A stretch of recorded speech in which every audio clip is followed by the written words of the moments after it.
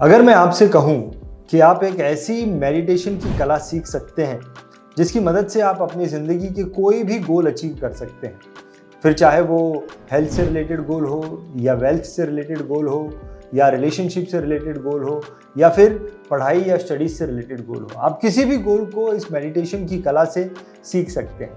देखिए, अगर आपको किसी गोल को अचीव करना है तो उस गोल को अचीव करने में दो तरीके के वर्क की ज़रूरत होती है। एक होता है स्मार्ट वर्क और एक होता है हार्ड वर्क। ये दोनों ही वर्क आपको करने होंगे उस गोल को अचीव करने के लिए।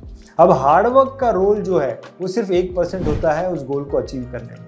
और स्मार्ट वर्क का रोल जो है, वो 99 परसेंट होता है उस गोल को अचीव करने में। Smart work is nothing but the opportunity. किस अपॉर्चुनिटी पर आप काम कर रहे हैं? मैं आपको एक एग्ज़ाम्पल के द्वारा बताता हूँ। मान लीजिए कि कोई एक्शन मूवी है। उस एक्शन मूवी में जो भी एक्शन हम देख रहे हैं, वहाँ पर एक स्टंटमैन भी काम करता है और मेन हीरो भी काम करता है। अब स्टंटमैन ने हो सकता है उतनी ही हार्डवर्क की है या फिर हीरो से जो मेन हीरो में दिखाई दे रहा है, उससे ज़्यादा हार्डवर्क की हो चलिए मान लीजिए दोनों ने ऑलमोस्ट इक्विवेलेंट ही हार्डवर्क किया है। लेकिन फिर भी जो मेन हीरो होता है, उसकी इनकम स्टंटमैन से कई गुना ज़्यादा होती है। इतनी ज़्यादा होती है कि हम कई बार तो इमेजिन भी नहीं कर सकते हैं। दोनों का तालमेल ही नहीं होता है। हाँ मेन हीरो की इनकम स्टंटमैन से बहुत ज़्यादा होती है, जबकि उस पूरी पिक्चर में हार्डवर्क दोनों का बराबर होता है। ऐसा क्यों होता है? दरअसल opportunities plays 99 percent role opportunity main hero की बड़ी है, इसीलिए उसकी इनकम जो है, वो स्टंटमैन से बहुत ज़्यादा होती है। देखिए हार्डवर्क वो हमारे हाथ में होता है, लेकिन अपॉर्चुनिटी मिलना ये हमारे हाथ में नहीं है। दरअसल अपॉर्चुनिटी मिलना ये होता है स्पिरिचुअल एनर्जी के हाथ में। हमारी जो स्पिरिचुअल एनर्जी होती है, वो स्पिरिचुअल एनर्जी हमारे लिए अपॉर्चुनिटी क्रिएट करने का काम करती है। अब आप बोलेंगे कि भाई, ये स्पिरिचुअल एनर्जी क्या है? ये क्या बात कर रहे हैं?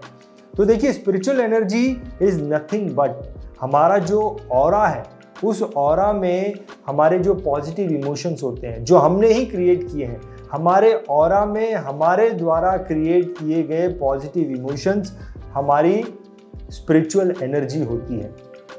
अब देखिए, मैं आपको एक ऐसा मेडिटेशन सिखाऊँगा, जिस मेडिटेशन की मदद से आप पॉजिटिव इमोशंस अपने और में क्रिएट करके अपनी स्पिरिचुअल एनर्जी जनरेट कर सकते हैं और इस स्पिरिचुअल एनर्जी की मदद से आप अपने गोल्स को, आप अपने गोल्स को अचीव कर सकते हैं। हमने तीन घंटे का एक वर्कशॉप रखा है। इस वर्कशॉप को आप फिजिकली भी अटेंड कर सकते हैं। आप चाहे तो ऑनलाइन भी अटेंड कर सकते हैं। अगर आप दूर हैं और फिजिकली नहीं आ सकते हैं तो आप फिजिकली भी अटेंड कर सकते हैं। आप ऑनलाइन भी अटेंड कर सकते हैं।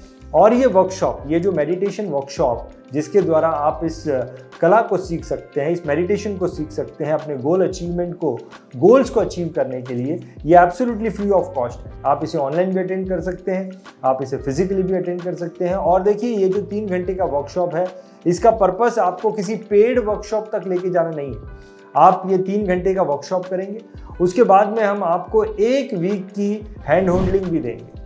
और एक वीक की हैंड होल्डिंग के बाद हम आपको हमारे ध्यान योग वर्ल्ड सेवा ट्रस्ट की lifetime free of cost membership भी दे देंगे। अब देखिए, मैं बार बार ये कह रहा हूँ कि ये फ्री ऑफ़ कॉस्ट है, इसका मतलब ये नहीं है कि आप इसकी वैल्यू को कम कर दें। ये जो वर्कशॉप है, जिसके बारे में मैं बोल रहा हूँ, इसे कोई भी व्यक्ति, कोई भी स्टूडेंट जो 16 साल से उम्र का ज़्यादा है, वो इसे अटेंड कर सकता है। कोई भी हाउसवाइफ इसे अटेंड कर सकती है, कोई भी एम्प्लॉय इसे अटेंड कर सकता है, कोई भी बिजनेसमैन इसे अटेंड कर सकता है, और कोई भी रिटायर्ड व्यक्ति इस वर्कशॉप को अटेंड कर सकता है। अगर आप इस अद्भुत मेडिटेशन प्रोग्राम को सीखना चाहते हैं, इस वर्कशॉप को अटेंड करना चाहते हैं जिसकी मदद से आप अपने किसी भी गोल को अचीव कर सकते हैं। तो इसी वक्त इस वीडियो के नीचे आपको कोई बटन दिखाई दे रहा होगा या इस वीडियो के डिस्क्रिप्शन में जो लिंक है उसके द्वारा आप इस वर्कशॉप को रजिस्टर करें। बहुत बहुत धन्यवाद। Thank you very much